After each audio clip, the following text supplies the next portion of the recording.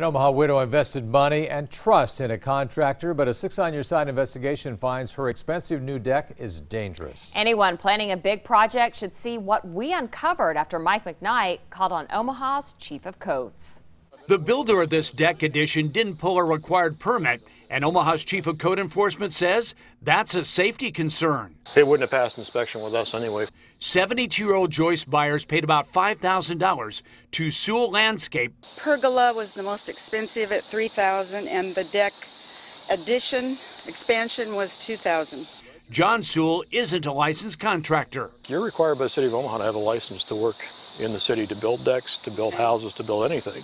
John Sewell tells Six Year Side, I didn't know I needed a license. It's an honest mistake. Sewell says a subcontractor who is licensed, Caballeros Construction, did the deck work. That sub says he expected the general contractor to get a permit. It's cut too short and it's pulling out.